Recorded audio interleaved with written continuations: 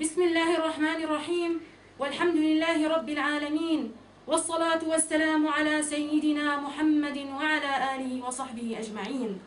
وبعد فإننا نحن طالبات, طالبات جامعة دمشق.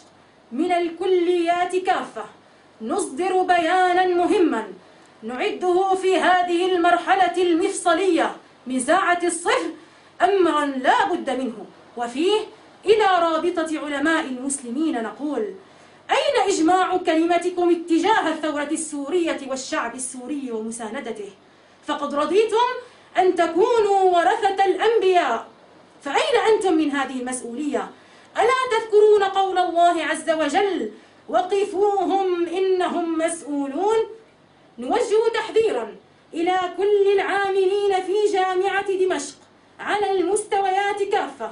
من عمداء ودكاترة وإداريين وطلاب وعمال. نحذرهم من العمل مع هذا النظام الجائر ونحذر العملاء والشبيحة منهم قوله تعالى وسنستدرجهم من حيث لا يعلمون وأملي لهم إن كيدي متين باسم كلية الشريعة نندد بموقف البوط وأمثاله ونقول لا تلوي أعناق النصوص لتحقق مآرب اللصوص في أمة الإسلام.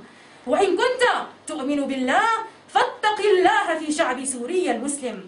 ولا تكن من الذين قال فيهم ربهم الذين ضل سعيهم في الحياة الدنيا وهم يحسبون أنهم يحسنون صنعا. ونحملك مسؤولية كل قطرة دم تراق من دماء الشهداء.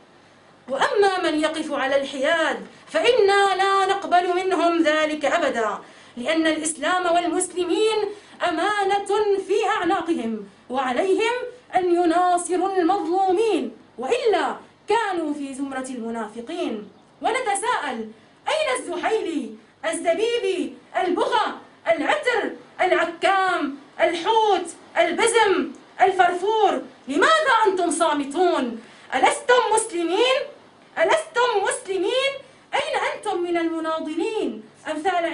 الدين الرشيد وأحمد الطعان وعبد الكريم بكار. فإنكم وإن تتولوا يستبدل قوما غيركم ثم لا يكونوا أمثالكم. وإلى الشرفاء الصامتين نذكرهم قوله تعالى قل إن كان آباؤكم وأبناؤكم وإخوانكم وأزواجكم وعشيرتكم وأموال اقترفتموها وتجارة تخشون كسادها ومساكن ترضونها. أحب إليكم من الله ورسوله وجهاد في سبيله فتربصوا حتى يأتي الله بأمره. والله لا يهدي القوم الفاسقين. وإلى العاملات في كلية الشريعة. ألا يعنينكن أعراض أخواتكن المسلمات التي تنتهك؟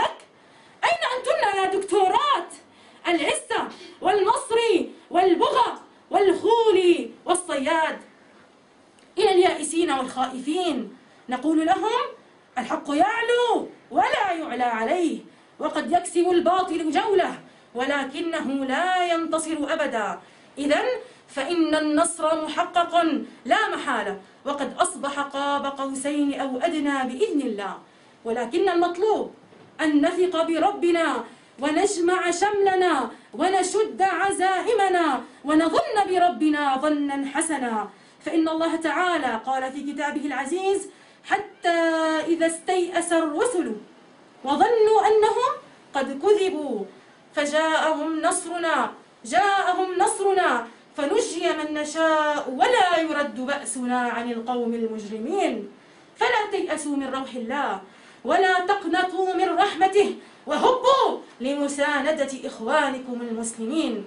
أخيرا نقول للشعب السوري إن ما عند الله لا يؤتى بالمعصية لا يؤتى إلا بالطاعة.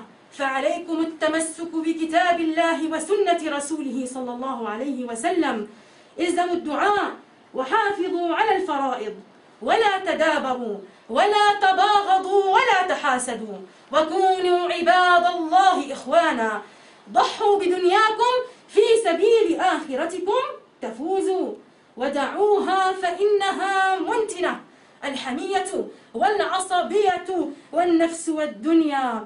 كونوا يدا واحدة على من ظلمكم. يقول الله عز وجل وأعدوا لهم ما استطعتم من قوة ومن رباط الخيل ترهبون به عدو الله وعدوكم.